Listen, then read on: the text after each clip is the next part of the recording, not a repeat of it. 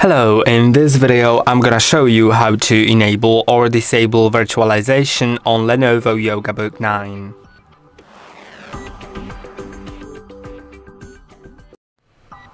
In order to enable or disable virtualization, you need to be in the BIOS, which if you don't know how to enter, there is a video on our channel on how to do it.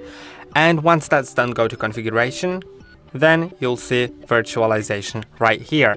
And virtualization, uh, most probably you'd like to have that enabled, um, especially if you're running some virtual machines, but also some programs may need virtualization technology to run properly.